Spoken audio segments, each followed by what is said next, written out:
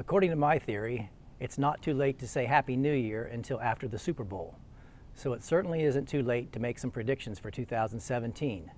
You've seen the psychic predictions in the tabloids at the grocery store checkout line. Aliens will meet with Donald Trump and offer a solution to global warming. Michelle Obama will leave Barack and marry Kanye West. Canada will invade Alaska. The trouble with those predictions is that they're always wrong. I mean, come on. Michelle Obama can do a lot better than Kanye West. If these psychics were in school, they'd get an F. I like to be right. So in that vein, here are predictions for 2017.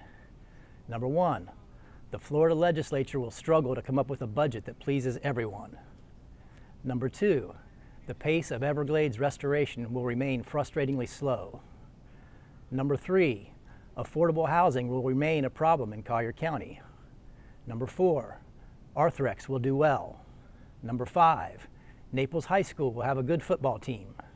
Number six, municipalities in Southwest Florida will look for ways to keep medical marijuana dispensaries out of their jurisdictions.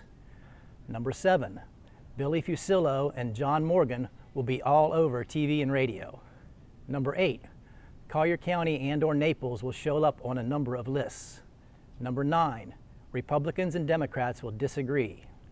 Number 10, a giant sea creature will rise from the Gulf of Mexico, walk onto shore at the Naples beach, and proceed down Fifth Avenue South, smashing buildings and eating cars. Its rampage will come to an end only when it steps in the hole dug to build underground parking on Fifth Avenue and Fifth Street South. That's 9 out of 10. That would still get me an A in school, right? I'm Brent Batten. Thanks for watching.